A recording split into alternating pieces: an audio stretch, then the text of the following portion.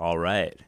So let's start learning Solidity together and practicing our Solidity. Now that we've gone over some fundamentals, it's time to actually write out some exercises together.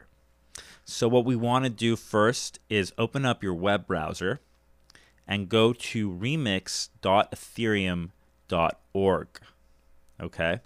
Now, Remix is essentially an IDE, that's an interactive development environment where we can run smart contracts. We can actually write Solidity, we get the plugin inherently, uh, and then we can actually set up smart contracts and run tests on a test network and this is great for not just Ethereum, but also not just not just Ethereum, but also just getting a sense in general for decentralized tokens, for for de- decentralizations, applications, and learning and honing in on your skills for writing skills for dApps. So once you go to remix.ethereum.org, you're going to see a dashboard.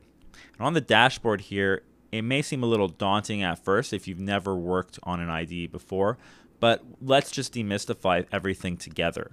Essentially, what we have down here, this box at the bottom, is a console. And this console, and this console is going to just help us. This is a helper box that's going to tell us when our code is wrong, uh, when there's something going on that's a mistake, as well as when things are successful. It's going to act as a debugger, and it's also going to act as a way for us to keep track of our transactions on the blockchain as we're going to see.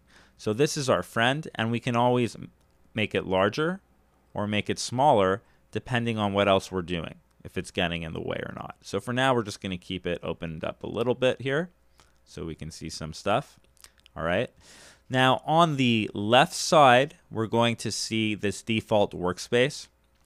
And underneath here, we actually have some directories and folders. Now, this is very much like a text editor.